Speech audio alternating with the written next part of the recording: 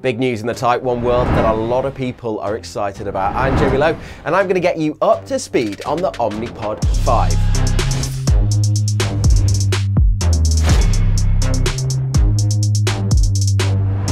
Hello, welcome back to my channel. Like I said, my name is Jamie Lowe and I have an itchy lip, so I'm gonna get rid of that. And here on this channel, uh, I talk all things type 1 diabetes, tech, news, new tech developments, things that I'm excited about, my life with type 1, and I throw a little bit of travel in that too. So if you like what you see, and you that sounds like you would like what you, if that sounds like you would like the content on my channel, then do hit that. then do hit the subscribe button. Uh, regardless, whether you like me or not, um, please leave a like because it helps me um, no end. But yes, there is big news and the Omnipod 5 automated delivery system has been cleared by the US Food and Drug Administration, which most people know as the FDA. Now, this is a US um, regulatory body um, so it doesn't affect us here in the UK, but it is, I guess, a precursor uh, to what could be on the way for us here in England. Now, if you didn't know already, the FDA is a regulatory body which controls a number of things from bottled water to medical devices.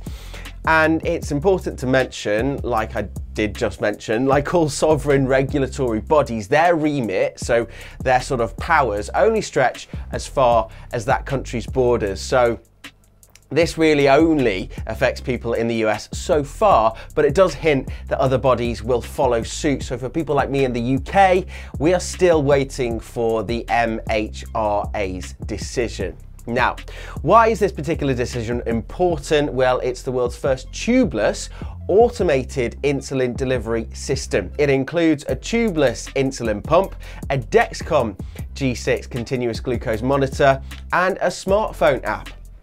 The pod is a tubeless wearable insulin pump with the AID algorithm embedded into it. Now the pod can be worn for uh, up to three days and can hold 200 units of rapid acting insulin. Now you couple that with the Dexcom G6 continuous glucose monitor and that app, uh, which uh, comes pre-downloaded on a controller provided by Insulet or can be downloaded onto a compatible Android smartphone, so no iPhones, Oh, really? iPhone users, you're gonna have to, you, so iPhone users are gonna have to use the PDM, is it a PDM or a PDA? Can't remember what podders call it. I think it's a PDM. Mm, what does that even stand for? Personal Diabetes Machine. Anyway, so that app is only gonna be available on Android smartphones initially. The Omnipod uh, 5 app allows the user to have full smartphone control over both basal and bolus rates for the system, though the system is currently designed to only work with the Dexcom, CG, uh, the Dexcom G6 CGM, integration with the G7 CGM, which isn't currently FDA cleared, is in development. Additionally, Insulet and Abbott have a partnership, so there is some hope that integration with the Freestyle Libre, uh, I think the three, Freestyle Libre 3 pretty much works like a CGM, that may be in the pipeline. So, Let's talk about this star feature. I'm to get comfortable for this. Let's talk about this star feature that sets uh, this pod apart. All AID, automatic insulin delivery systems, require an algorithm that allows the CGM and the pump to talk to one another to adjust the insulin dosing based on a person's glucose level. In Omnipod 5, the algorithm called Smart Adjust is embedded into the pod itself, and this is the first AID system with the algorithm actually integrated into the actual pump, which allows the user to continue in automated mode even if the smartphone or the controller is not within range or loses battery. This is also the first AID system with a patch pump versus a pump with tubes, and the first AID system to give the user full smartphone control. Now, the user can customize their glucose target in uh, 10 mg/dl intervals from 110 to 150 mg/dl. Now, those are US measurements.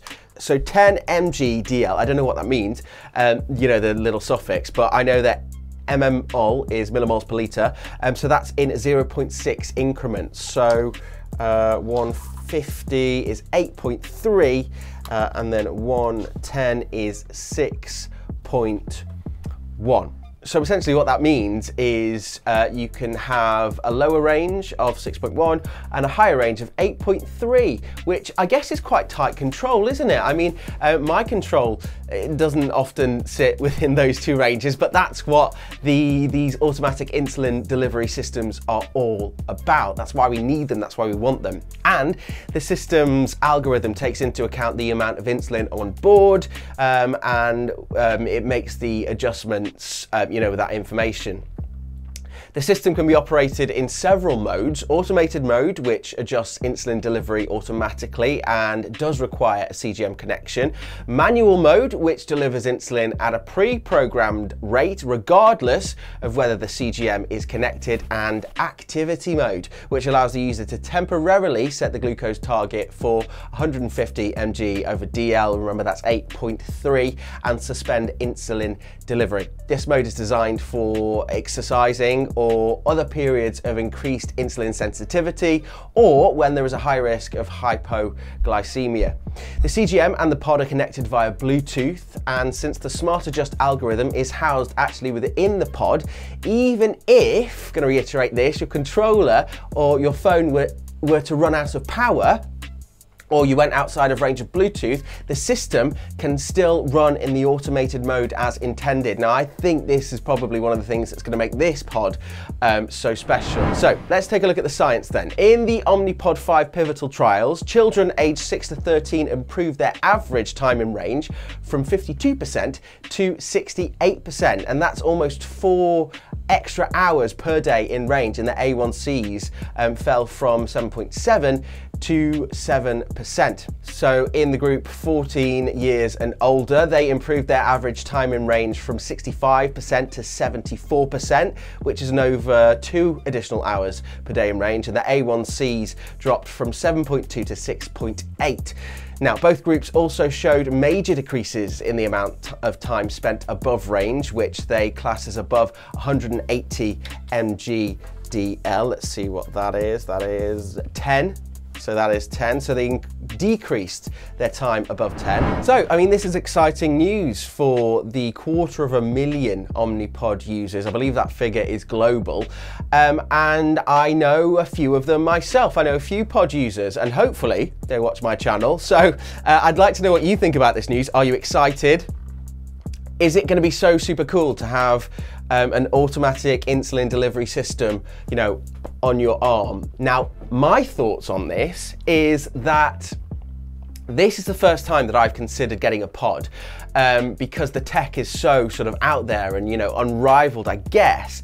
Um, with other pumps. I'm talking about the tubeless AID here because I've got a Tandem T-Slim and if you are lucky enough to have a Dexcom G6, then that will work in a similar way, but that is tubed. And I'm still really, really annoyed um, about sleeping with my insulin pump and you know getting it caught indoors and having it sort of dangle from me when I get up um, from sitting down. So um, I always would want to avoid a pod uh, first of all because I just didn't, you know, want to have it on me. I always thought that it was quite big.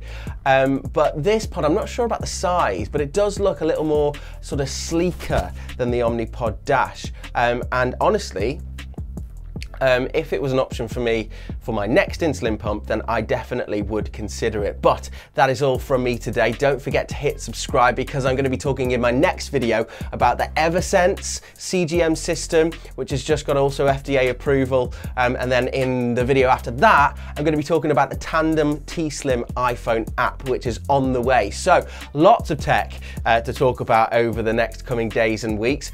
Almost too much for me to keep on top of, so that's why I'm a bit late to the game with the Omnipod news, but there you go. Uh, that's the sort of stuff you can expect from me on this channel. I've also relaunched my podcast. Uh, it's called Jamie and the Broken Pancreas. You can find it wherever you listen to podcasts.